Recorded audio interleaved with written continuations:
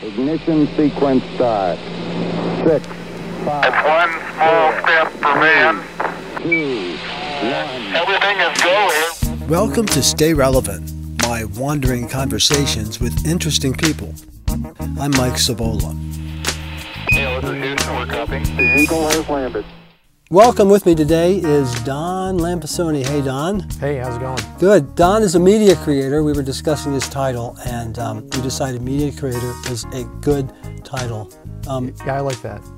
and why? Why is it? Well, because it kind of says I do a lot of stuff with media, not just not just one thing. That's know. true. It's kind of hard to say writer, producer, director, editor, blah blah blah. Yeah, exactly. And then people are like, "Well, what don't you do?" And I guess maybe that would be easier. Well, then, but that could be also be negative. It could be negative. You know, well, you must not be good at any of them. that that's a good point. That's maybe I should not. Maybe I should think about that. I don't know. No, although no, but media creator, Yeah. it's broad enough without sounding too broad. That's a, that's a good Yeah. point. So which Yeah. part do you create? Do you so somebody who wants a shooter will, may call you and say, "Do you shoot? You're a media creator." Yes, I do. Yes, I do. Yes, yes. Yeah. I'll say I'm a director of Do you write? Yes, I do. I'm a media creator. Yeah. I mean, I might I might not push the writing. Oh, You know, I might not push Okay. that because No, I don't. I write with with help of someone talking. Is what I would say. Well, you I'm be- I'm- still. Yeah, I'm still- better. I'm better at writing when I have like interviews and stuff like that. But if I have to just do like a VO piece, I could do it. But it, you probably, I probably would want to get someone that's better than me at that. Yeah. You know, that's one of the areas where I would, I would be like, yeah, you know, depends on what it is. You know, I have a certain voice that I think I'm good at, but then, you know, if it's like corporate stuff, I might say that's probably not my forte for, you know, uh, writing wise. But if we just want to interview a bunch of people, I'm really good at editing them to make them sound great. Cool. So that part of it I could do really well. Well, I was looking at, at your background, which I didn't know. You went to Miami Dade College at some point. You, so you went from Miami and then you went to Alaska. Is that true? I mean, you went. Yes, yes. I, well, Miami Dade was actually um, the school that accredited the conservatory that I went to. Okay. So what I did was, and this is a little weird, and you can say that it was, um, is I was in a musical theater program. I thought I wanted to be an actor, and you know they call that what I was is a triple threat because I could sing and I could dance and I could act. Um, But apparently so- you couldn't. but well, you're right.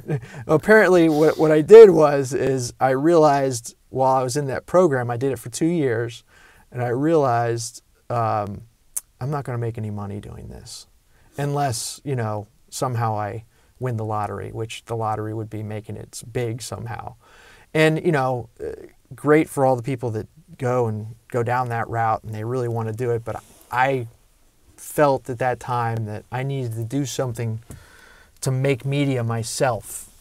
And I saw an opportunity with the Army to make media. And that opportunity was becoming a broadcaster in the Army. And so that's the route I took. And, you know, the Army is like, oh, well, um, where do you live? Fort Lauderdale? Okay. Um, how about Alaska? and I, I had a choice of my job, but I didn't have a choice of where I went. It's crazy. How was Alaska? Just briefly. I mean, I'm actually, sidebar. Actually, I mean, Alaska was great. I loved it. I mean, I wouldn't want to live there my whole life. I lived there for three and a half years, but it was a great time. And you were in the army for like six years. Six and a half. Yeah, and um, you know that's that's pretty good training. I mean, I'm thinking, right? Now there is a really good school. It's actually close by here, Fort Meade, Dinfos, that I went to. That I thought, you know, I've been to a lot of different college, as you've noticed on my resume. I've been to a lot of different colleges, and they had one of the best training for broadcast that I've I've experienced. Um, it's really quick. It's like three months, and that really got me going. It got me excited to do it, and um, you know, I learned the basics. They have some advanced training too that they did while I was there um, as well. While I was in the Army, my last three years was with Soldiers Radio and Television, and that was great too. Um, and while I was there, I, I freelanced. I started freelancing. I got a call one day for an edit, um, and um, I think I was my first edit with Interface was uh, for um, for BET, and they really liked what I did. I think it, uh, a two day edit turned into like a week or a week and a half. Um, we did this thing for boxing or something for uh, Evander Holyfield at the time. I can't remember exactly what it was, but um, it was really fun. I really liked working there, and uh, it was a great experience. And I just started freelancing with them. Um, you know, now and then. I think uh, political season came up at some point, and I did like a month or a month and a half with them, and I was still in the army. And then you know, I saw that, hey, this this is a pretty good deal, the whole freelancing thing. And so I, you know, was ready to reenlist, and I said, you know what, I'm just going to get out because money-wise, I, I thought I reached, I, uh, I had gotten to a, sort of a plateau of my career, and um, and um, I was, I could go further in the army, but at the time I wasn't, I wasn't really. Um, I had gotten to SRTV, which was basically the best place for a broadcaster. They would send me overseas or something if I would have stayed in, and I kind of liked the area and and so I, so I got out, you know, and I started freelancing. Well, we worked together at Ventana and Ventana, Moondog, yeah, and that was that, was a full time gig, and I love that. Yeah, that was a couple of years, and then we went. Then you uh, eventually moved to, to Houston, I guess. Well, Aus- Austin. Austin, okay. Austin. Sorry. Yeah, no, that's okay. Uh, so I moved to Austin, and um, I And why why'd you do that? Was it uh, were you following a girl? I, I was well, Oh, yeah, my wife. well, it was it was my turn. You know, Right. she'd followed me from Alaska. My wife had followed me from Alaska here, and we spent like nine years here. And then her job took her to the Austin area, and I figured, hey, Austin's kind of cool. I've never been there. Why not? You know, and we're kind of a military family, and so you know, moving's not. It's not out of the question for us, and so we moved on to Austin, um, and uh, you know there was good and bad there. You know, it was, it was a hard time and a, and a great time at the same time for my career. Um, I learned a lot. I could tell you that because I started teaching. Yeah, you, you mentioned the fact that the market's not well. It's not a DC market. You, the, the the rates aren't the same, and, and you're expected to do more. I guess Exactly. Um, In a market like that, because it's smaller, it kind of brought me back to sort of my roots in the Army where I was doing everything. And um, I became a shooter, editor, kind of everything again person. Whereas in DC at the time, no one would hire me for anything but editing. I was just an Avid editor at that in that time period, because a lot of people didn't know how to use Avid at that time. It wasn't easy. It wasn't like you had access to it. And because I had known it, you know, I learned it, and you know, and I had I was a DS artist for a little bit there um, uh, before I left to Austin, and um, and you know, knowing those types of systems, they're a little more complicated, and and really, it's not the complicated part of it that's hard. It was the access to the system because those systems were so expensive. It's not like you could just download the software and and load it on any computer. It wouldn't work on just any computer. It needed a lot of hardware. Did you feel um, like you had planned this whole route, or just sort of happened, or I kind of a combination of both? I think I think it was the the Austin thing kind of just happened, and you know I just got a call one day out of the blue from someone from the Art Institute, and they was like they saw my resume for I don't know how they saw it, you know it's just one of those things you know now that everything's online they just saw it and thought I'd be a good candidate for teaching, and I was like well I never taught before, and he's like well you have a master's, so you could pretty much teach anything at least you know uh, anything that we offer you to teach. And you know, and I found out a lot about teaching and about myself, about what I really knew. Right. because when you teach something, you really, really have to know it. but also, I find I'm not a good teacher. I don't have patience. Yeah. and it, it takes patience and it takes um, you gotta you, you have to figure out how to present it so that somebody can understand it Yeah. i mean that sounds simple but it's it's w- not I it mean, was harder than I thought, but I, I learned to have fun with it, and I learned to, um, you know, I had fun with the students. I kind of missed that aspect of my life a little bit because it was like the energy I got from the students was great. You know, it was kind of like the same energy you get, or at least I got when I was acting, in a sense, because you're sort of performing in front of them. Not a performance, but you're, you know, you're presenting to them and you're talking to them. And if I had like three or four classes in a day, it takes a lot out of you to do that. And you know, I, I definitely got to hand it to people that, that teach because it's it's difficult, and and but there is a lot of reward there too. I think I learned just as much as my students did. If if hopefully they learned. Talking to media creator Don Lampasone. Don, um, how would you say you've managed to stay relevant? I mean, what's your is there is there a secret to that? What does it mean to you, and how do you do it? Is it just rolling with the flow? I don't What? know if- I do you don't- have a plan? I- or it just happens? I don't know if there's any secrets, um, but I think that one thing I do is is I try to stay up on what's new and cool in technology. I try to not say to myself, "I'm only going to do this one thing this way forever." I always try to do something new in a, in a in a piece. I, I you know I'm fine with you know if a client comes and say, "Oh, we did it this way last time. Let's just do it that way." Okay, and I know you know I have guidelines you know but what i really love is when someone comes to me and says you know i want you to try some new stuff because it might take me a little longer because you're figuring stuff out um, but you get to really uh, you know maybe delve into a new piece of software or a new plugin or something that's new out there and make something just uh, that you haven't done before maybe someone else has done it but but i haven't done it and that that makes it you know one more badge to add to my you know list of things that I've done.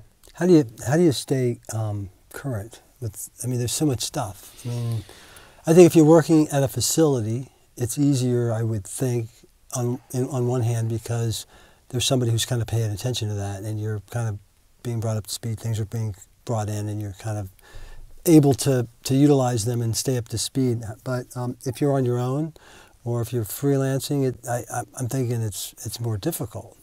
I think there's there's good and bad with both. I think when I was at a facility, um, there's always other people to bounce stuff off of. You always can go into another room and say, "Hey, what do you think of this?" Or, you know, "Hey, I've got you know, have you heard of this plugin? Is it any good?" You know, um, "Hey, you know, you have an idea for this? I'm out of ideas." You know, you can bounce stuff off of people, and I think people is the main thing that you don't have when you're freelancing all the time. Uh, I mean, obviously you have the people you're working with, but they're expecting you to be the expert. You know, when you're in a facility, you have other experts like yourself, and that's great. And and that's what I, you know, that's what you have. But the truth of it is, is that you also have limitations in a facility because there's obviously budgets. You know, there's budgets for yourself, but or or there's like uh, we're only going to use this software. You know, when a when a facility says, you know, we're going to do Final Cut X, and you're like, well, I hate Final Cut X. you know, you have to deal with that and just push on and learn it. And you know, every day you're a little frustrated, and that's okay. You know, I can I can do that, and I've done that. Um, when I'm alone, it's just a matter of just you know a lot more reading the technical stuff that's out there, trying to stay in touch with people. You know, I think people is the aspect that you're that you're probably talking about there that you got to keep up with too. The other people in the industry. It sounds like that's an important thing, but it's on the other hand, if you're busy, you can't do it, and Yeah. it's like Well, it's like making a demo reel. Exactly like, right. That's who a good has- point. Yeah, Who has time to make a demo reel if you're busy all the time? And then, well, you don't need to because you're busy all the time. right.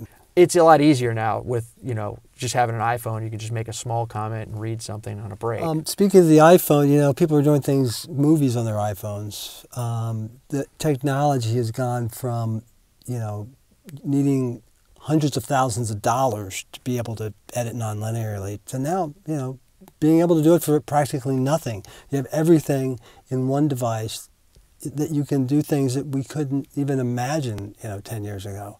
Um, how has that like changed things? Um, I found it a lot more in Texas than I found here.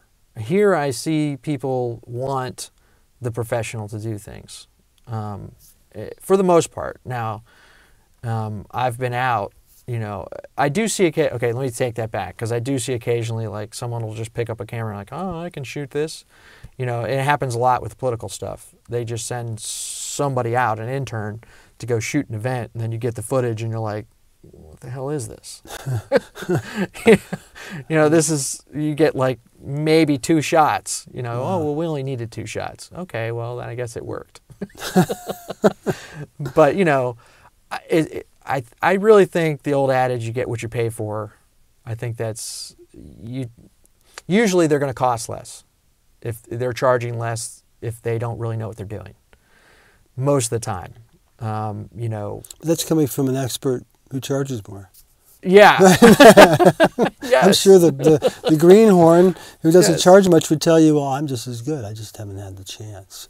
And it's, I guess it's possible, but I, I maintain that experience is worth a lot. That you, you learn things through your experience, and I don't know, at some point that's going to come into play if it doesn't every, every day. You know, this came up a lot when I was teaching. Is like, you know, the students would think that, oh, I'm, you know, just as smart as you, and I can do this just as good as you, and then they would go do it. You know, they would do a project. We would always, because uh, Art Institute is a hands-on, and it was one of one of the things I really liked about it is the hands-on. And you know, I'd always be like, "Yeah, you can do it. Okay, we'll see." And I would always let them spout off and you know talk, and then I would get their project in, and I'd be like, "Here's everything that's wrong with this." and there was a lot. And now, granted, there are some people that are talented right off the bat, but there's that experience. It's and it's a hard thing to teach. That's one of the hardest things to teach is like how to make a decision when something goes wrong. And I think that's what the experience does. It's like, why do I call myself a DP now instead of like a videographer? Well, I think the difference between a DP and a videographer might be, and I'm not trying to offend anybody, is that a DP can go into any situation and light it and make it work. Whereas a videographer would just go and shoot it and it might not look so great. But a DP is going to make it look as good as possible. And they know how to use what they have to make, you know, that image look right. I don't know if that makes sense. Oh, it does. Yeah, Yeah. okay. I mean, a videographer may not know how to light it. Exactly. As a, I mean, I They mean, might that, just that would be the hold the camera. If somebody said they're a videographer, that tells me one thing. If they say they're a DP, well, I expect something else. Yeah. One of the things that comes with experience, something that, that it took me a long time to figure out was that um, is is what to leave out. I think that that's a huge problem in the edit because what happens now is you get these, you know, uh, these files from DSLRs and from all these cameras um, that's just like overshot. You have No thought. so much overshooting. It's like let's just shoot everything Right. and not think about what we're shooting. That way we have everything. Then you can decide. which is not necessarily true because if you don't know what you need going in, you may not get it. So what's the, the what's the future like? I mean, we've kind of come really far away from like you know, from from uh, video being kind of elitist.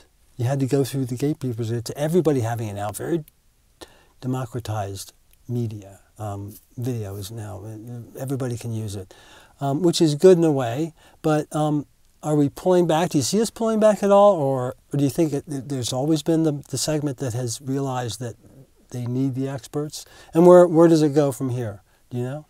I think when people see a difference in their product, in their video product, that's where you stay relevant.